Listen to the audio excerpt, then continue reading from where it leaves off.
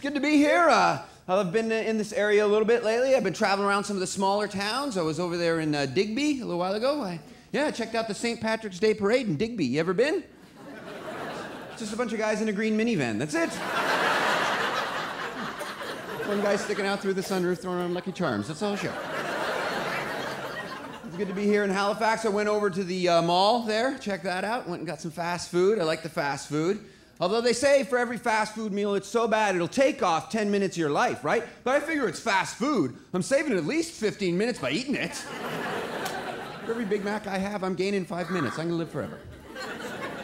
Some junk food's a bad idea, I think, like that cotton candy, don't you think? Because it just makes little kids want to eat pink insulation.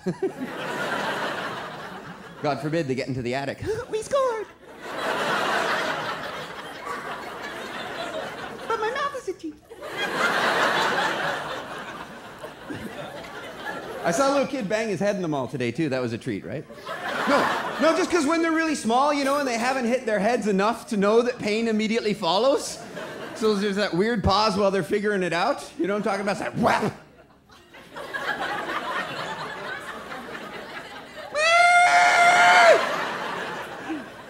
they put that pause in on purpose, right? Gives the parents just enough time to yell, get down, this kid's gonna blow! But I had to go to the mall there because I had to get my contact solution right, and because uh, I've got the contacts. I don't know if you can see that, ma'am.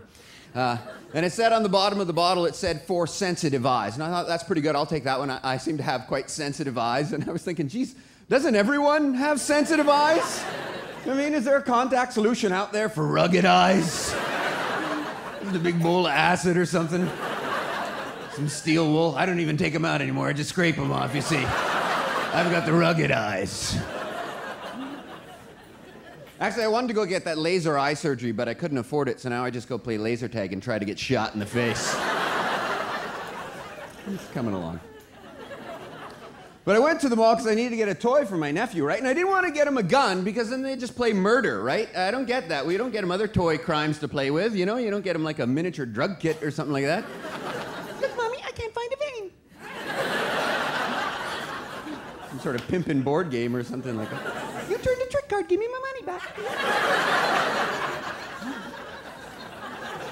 Oh, but I had to go to the washroom there in the mall. Oh my goodness. You ever have to go into a public washroom and you're in there and you're trying to get some toilet paper out of the dispenser, but for some reason they've got like the dispenser cranked up way too damn tight? So you only get like one square at a time. You're like, oh, jeez. Or sometimes it's so tight you only manage to get what you pinch between your fingers. oh, thanks very much. Doesn't help me with my objective, but if I cut myself shaving, I'm ready to go. What is going on in the guys' washroom? Seriously, guys. Seriously, guys, we are not working as a team anymore in there. It is a mess. Like, what? Are you doing jumping jacks when you pee? At this point, we might as well not even have a toilet, right? Let's just have a room where we go piss on whatever we feel like. We'll have things light up. We'll make it a game. Guys love that crap. This one time I had to go into the girls' washroom because the guys was locked. Oh, what a wonderful world it is in there. It's all disinfected, you know. It smells of potpourri. Little post-it notes on the mirror saying things like, you're pretty. Oh my God. Bluebirds holding up the corners of the toilet paper in their mouth. I'm never going back. And ladies, guys aren't washing their hands. They're not doing it. I'm telling on the guys right now, they're not. Oh, you know what? Sometimes if they see another guy there, they might do that half-ass little, yeah, I washed. no soap, no scrubbing. That's not doing anything. That's not being safe. You know that's like? That's like wearing a condom during sex, but just rolling it over your left nut. You're not doing anything. Come on. And it's particularly unattractive. Trust me, this guy knows. Oh, uh, yeah. I feel like I'm getting dumber. Anyone else getting dumber as they go along here? Yeah, one guy. Dumb, dumb enough to admit it. I love that. All right. I think the problem is, is the spell check on the computer, right? Because now whenever I got to write anything out by hand, I've forgotten how to spell. So I, for, I got to edit what I say for easier words to spell. Is anyone else going, going through that? It's like, thank you very much for your recent invitation. I was ecstatic, ecstatic, uh, happy that you thought of me. when I received, received I, I before, oh, forget it, got your mail. I immediately, immediately, soon was happy, good man. Love Roman. Good enough. That's the idea. Oh, man. And is anyone else using the same password for pretty much everything? I got so tired with having to come up with new passwords all the time. I'd get angry, so I'd come up with things like, you know, like screw you, Royal Bank. really fun until you got to call tech support, and they're like, "Oh, what's your password?" It's it's uh, screw you, Royal Bank. S is in silly. C is in crazy guy. R is in regret. I do like that thing where you got to give a word uh, that the letter starts with so they know what the letter is. That's a lot of fun. You can have a lot of fun with that. And what's my username? Oh, my username, it's, uh, let's see, it's K is in night, uh, P is in phase, T is in tsunami, G is in gnome, and M is in that feeling you get when you eat a peanut, you know? Mm.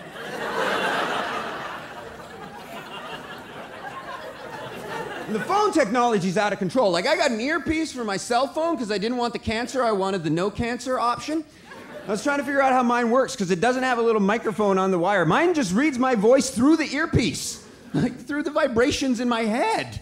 Well, now I just sound slightly handicapped to all my friends, right? They're like, hey, Roman, how's it going? Oh, pretty good. Uh, Roman, are you okay? What you? We call an ambulance or something?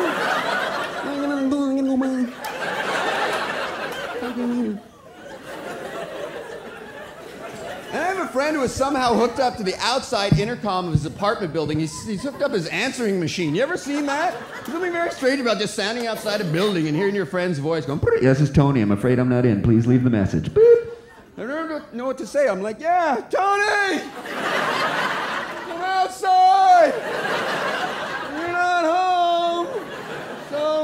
You get in, let me in! And I never know how to end it, too, because there's nothing to hang up. You know, I'm not holding anything. I can't hang up the damn thing. I guess I'll walk away now. Don't even cross the street! He knows how much I hate it too. So one time he left the outgoing message. That's Tony. Uh, come on up. Beep. I'm like, what the hell?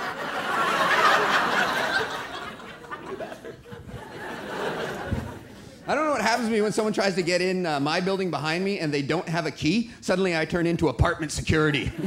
Afraid I can't let you in. No, it's against regulations. According to section two of the note pinned up on the bulletin board in the laundry room. I know it's cold outside. I know you're my roommate. Should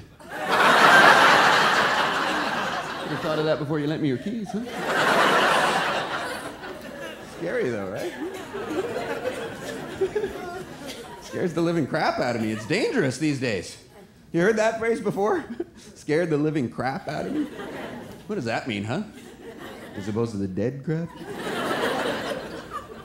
You know, I think if living crap came out of me, that's when the real fear begins, am I right? Seriously, whatever I was scared of in the first place would pale in comparison to living crap coming out my ass. Yeah. Ah! How about this, Ray? So I'm just so energetic, I'm just full of piss and vinegar. if you find that you're full of piss and vinegar, next time label the bottles of your liquids. You've obviously made a tragic drinking mistake. How about this one? Oh, it's just so funny. I laughed my ass off. Nothing funny about that. Imagine creating so much pressure during an extended giggle fit that the only way to have it released was to have your ass explode off your body. Like, no, stop it. You're way too funny. I can't hang on. Oh my God. I laughed my ass off. You bastard. You're so funny. How about this one? Oh, that guy's so lucky he's got a horseshoe up his ass. It's not very lucky. In fact, that sounds particularly unlucky to me. Imagine all the things and circumstances that would have to come into alignment for you to actually get a horseshoe up your ass. You'd have to be near a horse while the horse was being shooed, and the horse would have to get spooked for some reason. On top of that, you'd have to be bent over buck naked in close proximity to said horse. Then again, that might have been what spooked it in the first place. I'm not too sure. Imagine seeing that. Imagine seeing a guy get a horseshoe up his ass and then laughing your ass off and nothing coming out but piss and vinegar. That would scare the living crap out of me. Thanks very much. You guys have a great night. Bye-bye.